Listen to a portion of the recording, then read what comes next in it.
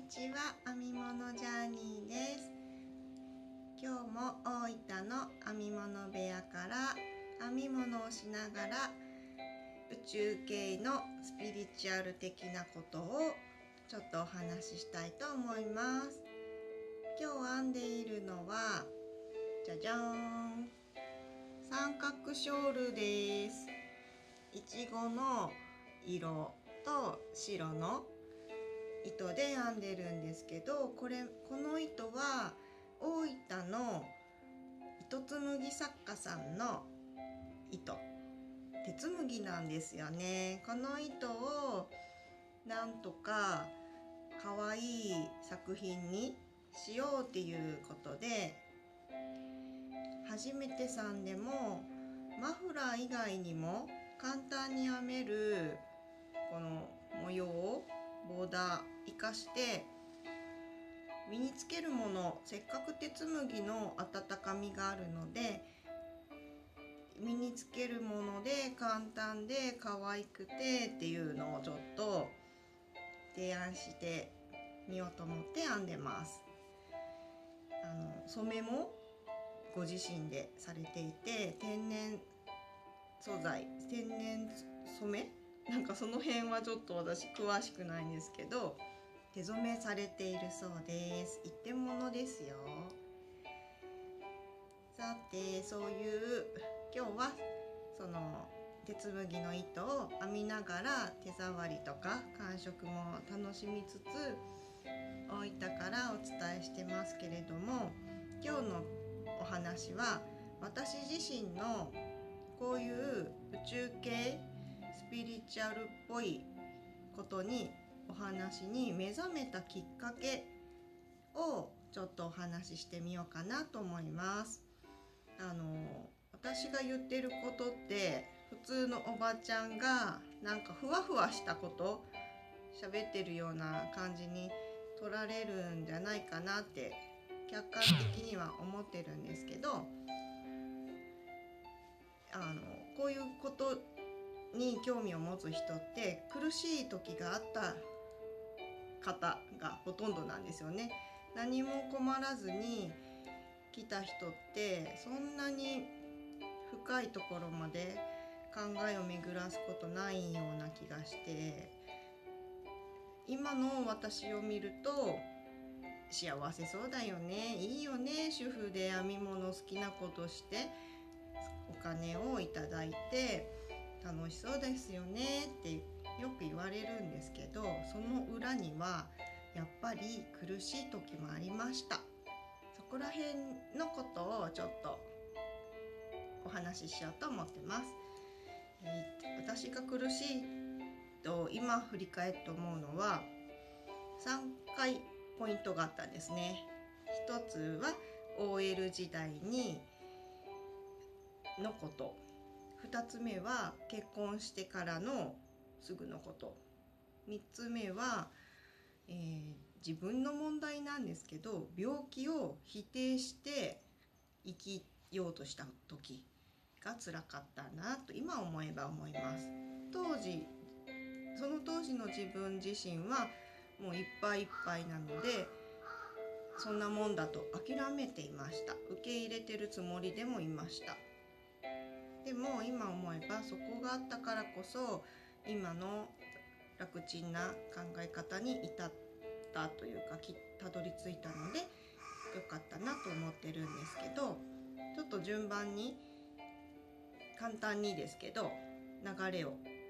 というか経験をお伝えしたいと思うんですけど最初に苦しかったなって思っててまあほぼ毎日泣いてた時もあったかな。母になんか泣いてすがってもうこんなの嫌だって言ったことがあったような気もする時代が OL 時代20代前半なんですけど仕事を選んだのもやりたいことを選んでやりたい行きたい学校にも行かせてもらって行った仕事であの土木の設計とか建設関係の図面を描く仕事をしてたんですけどそっちあまりちょっと違うな事務仕事違うなって思ったので保育士になりたくなったんですね。で保育士になりたいから勉強して資格も取ってさあ保育士保育園で働きましょうって思って保育園の就職も決まってたのに病気が分かってしかも難病なんですね。難病が分かって体力がいる仕事保育園は保育士は。体力仕事はやめた方がいいですよ。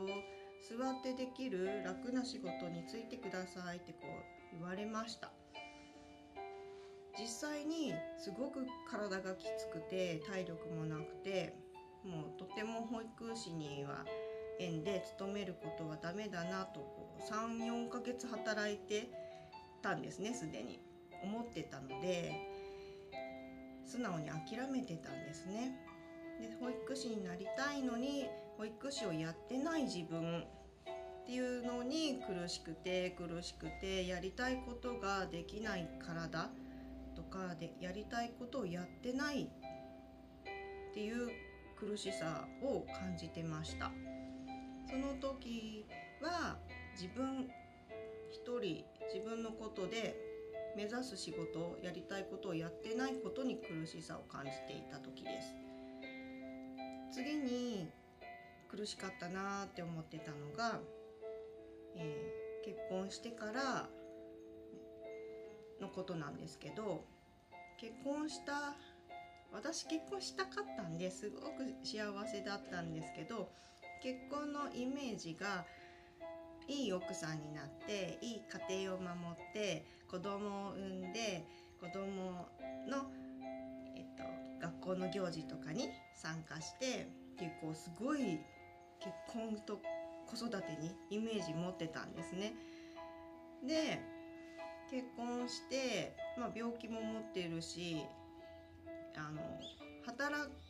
バリバリ働くは私の選択肢にはなかったのでまあ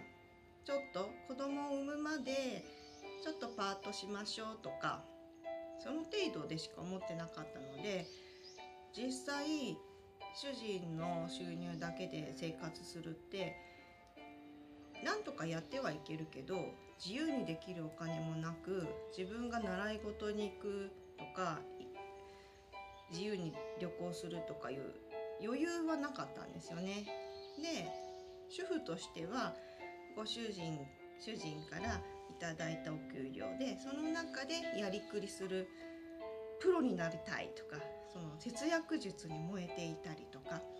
ある中でがん暮らす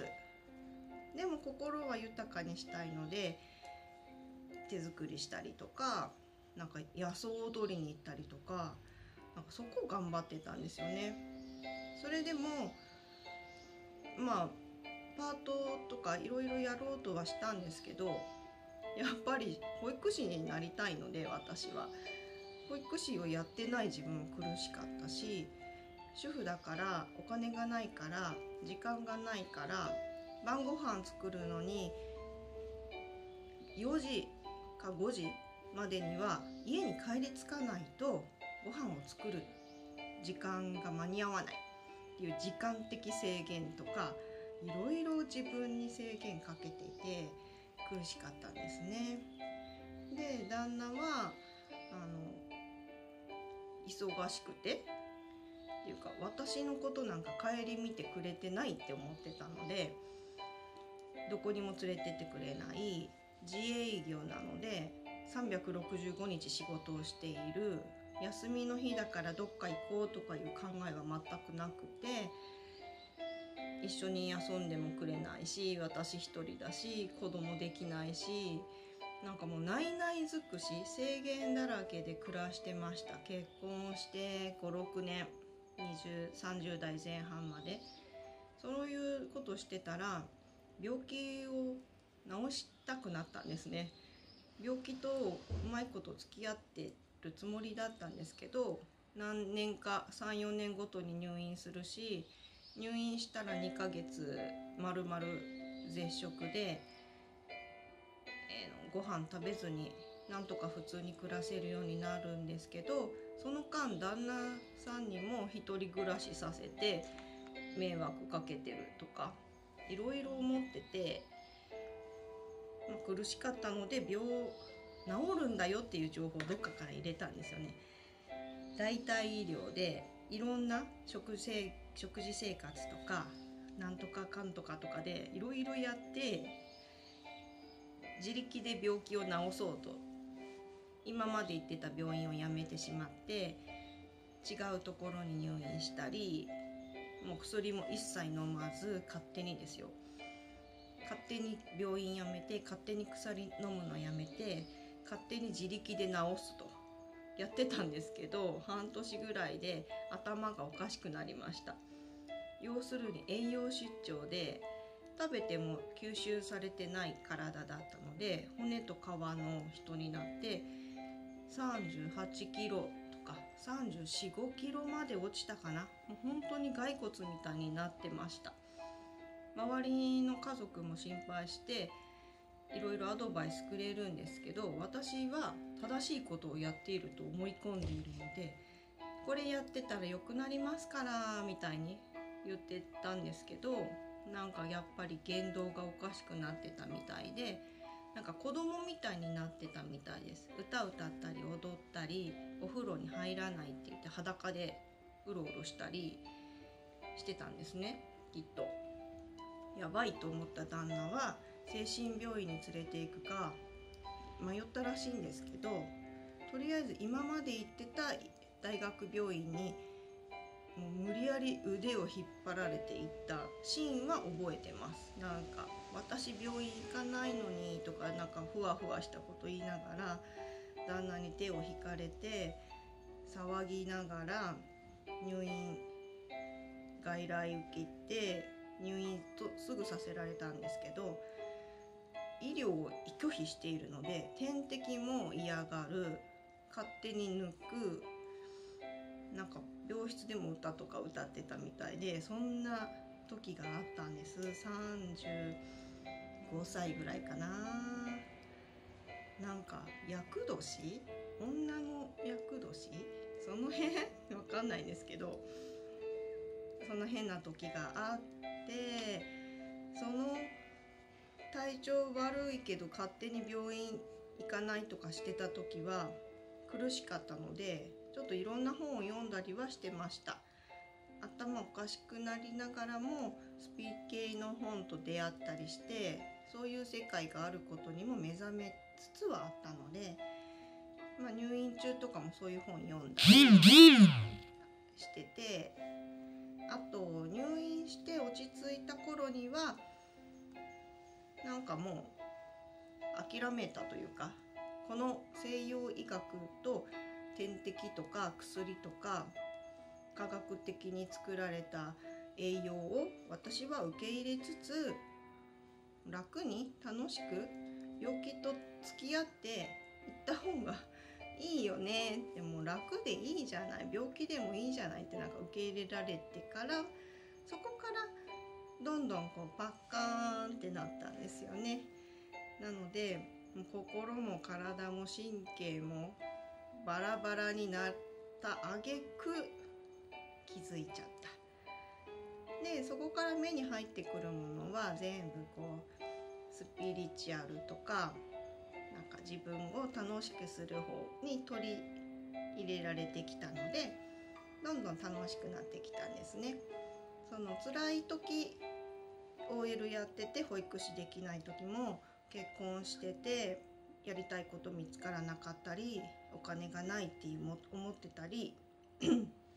誰も相手にしてくれないっていう孤独感とかも味わったりやりたいこと見つからなかったんですよね。その時は編み物を趣味としてしてたけれどもだからどうなるってこともなくただ編んでるだけ。うんなんなんかあんま楽しくなかったんですよねその時は。でも本田健さんの本に出会ったり、えー、中野あゆみさんの中野ひろみさんの本に出会ったりして、まあ、特に本田健さんの本かなやりたいことを仕事にしていいっていうこととか中野さんの好きになことをして生きていいとか幸せになるために生まれてきたっていう考え方を知ってからどんどん楽になっていってやりたいことを思い出す自分が本当に好きなことって何だろうってすごく向き合った時があってその時にとりあえずやってみようって思ったのが編み物だったんですね。子供の頃好きで得意だったこと唯一続いている趣味編み物を極めてみようって思って教室に習いに行き始めて習ってるうちに先生みたいになりたいなって思えて続けていたら先生になってたと。そして自分の場所が欲しいなと思ったらこうやって自分の場所も見つけられ作れた流れなので私も苦しい時はありました。というお話でした。で今気づいててそういう苦しい時もありながら楽しく生きている方法考え方なんかはこうやって動画で発信していること。それも楽しいんですよね。楽しいから勝手にやってます。なんかのヒントになればいいなと思ってますのでなんかすごい先生が言うことよりもこういう普通の人私みたいに普通の人がこんな考え方持ってる人も世の中にいてちょっとそういう風にすると楽になったっていうところを喋ってます。しかも編んでます。早くこれちょっと冬に間に合うように完成させたいので今から編みます。ではまた。